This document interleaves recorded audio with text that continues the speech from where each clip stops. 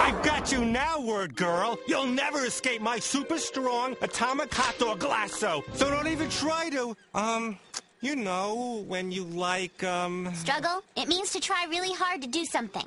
Yeah, okay, that works. don't even try to. Um, oh. Struggle. Struggle, WordGirl.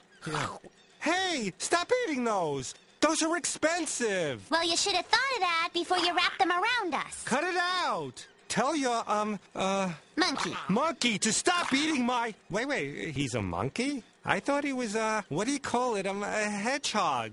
No, he's a monkey. A hedgehog? Yeah, he looks like a hedgehog. Where do you get hedgehog? What? He. Just tell him to stop eating my hot dogs. No, in fact, eat faster, Huggy. How long is he gonna do this? How many hot dogs do you have? I'm gonna have to make a phone call.